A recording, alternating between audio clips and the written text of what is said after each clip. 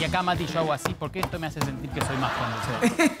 así cargo. A Matías Martín le sacaron una foto haciendo pizza en la playa. Mirá. Gente asquerosa, por favor. Pero no encima de frente. No, no, eso no se hace. ¿Está? Es que cuando. Sí, está la cuando- foto. sí, ahí está. Te pillé. Bueno, y puede Culo me lo pasar. robaron. Mirá la foto ahí.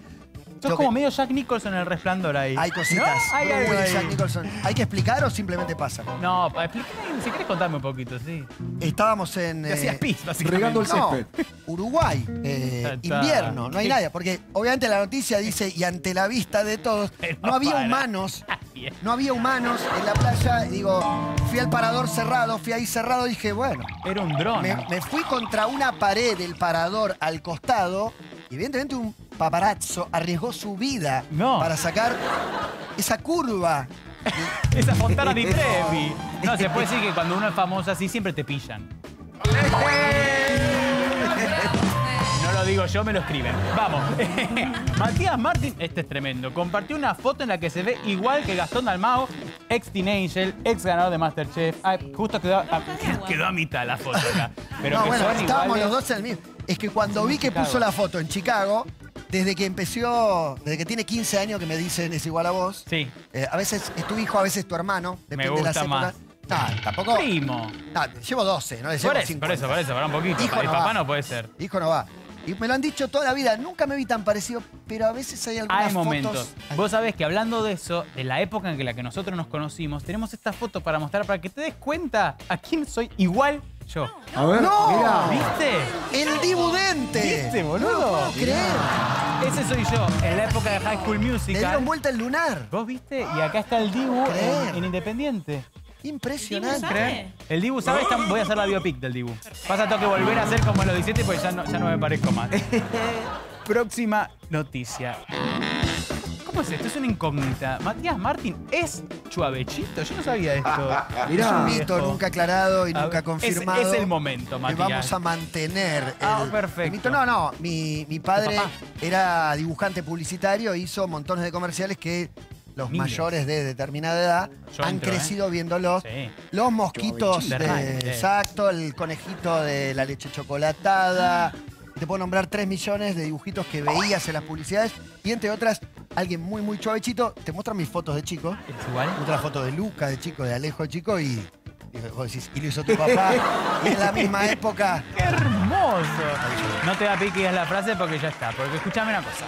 Ya Vamos un a la- vamos- no, ya está, sí, exactamente. Eso se paga. Em, hablamos de la radio. A mí cuando, cuando arranqué el programa y me hicieron un montón de entrevistas, hablaba de, de los, de los conductores que yo admiraba y sabés que digo, no, no estoy chupando las medias, algo que hablamos ganaste mucho. el reality, Te nombré mucho y decía, y bueno, te- ya te miro con ojos de amor, vos me das suerte. ¿Quién fue así como tu, tu inspirador o, o tu maestro en, en la radio, si es que tuviste? Porque también a veces uno arma el camino más a los conchazos solo. Sí, no, cuando, cuando empezaba a escuchar radio, eh, estaba muy puesto con lo que hacía en FM Lalomir. eh, escuchaba a Dolina a la noche y Víctor Hugo en el relato deportivo en, a nivel radio eran un poco como los personajes que más me, llamaba la atención y, seguía. Creo que no hay nada de, ellos en mí o, no, busqué para nada parecerme, pero eh, siempre tenía en cuenta eso y después uno le va preguntando también a, los, a, la gente que tiene cerca. Yo por lo menos siempre me importó preguntar qué, qué ves, qué cambiaría. Yo después te puedo mandar un mensaje y Sí, me encanta. Y vos, encaré al productor general de, de TIC, que cuando me lo encuentro a veces me recuerda. El programa le iba muy bien, recién empezaba, y yo dije, ¿qué tengo que mejorar? Y me dijo, ¿cómo mejorar? Estás muy bien. No, no, pero decime porque... Bueno, y me dijo, no, los tiempos, no te apures, no sé qué. Siempre hay algo para mejorar. exactamente. Y si yo te pidiera un autógrafo, hoy, ¿en, en qué instancia estás con eso? Porque sé que al principio... No, porque... porque uno, te haces conocido... ¿Cómo, cómo era tu teoría? No, mi teoría es, no te sirve de nada el papel. ¿Para qué un papel escrito? No tiene sentido, estamos charlando, somos iguales, eh, charlemos ahora, qué problema hay, como nada. Y la persona me dijo, a Ricardo Darín se lo pido y me lo da de una y vos te tengo que insistir. a partir de ahí se... Vaya con Dios, no le cuestiono nada a nada. Te dio vuelta a todo. Sí. Hay una anécdota que escuché, es muy linda por el horario que estamos saliendo ahora al aire, pido disculpas, eh, en un micro en Chile.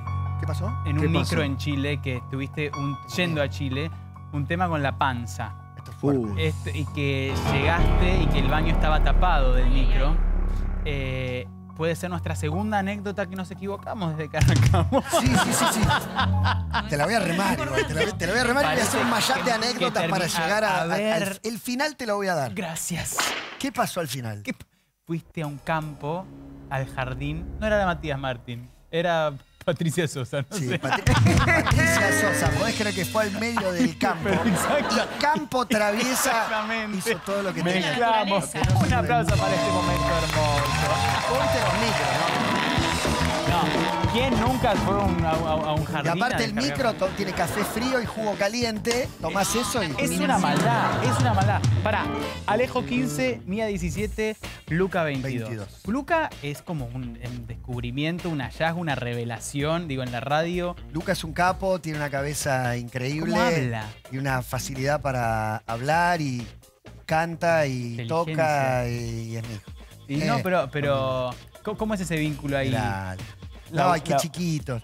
Eh, no, hermoso, la verdad que hermoso.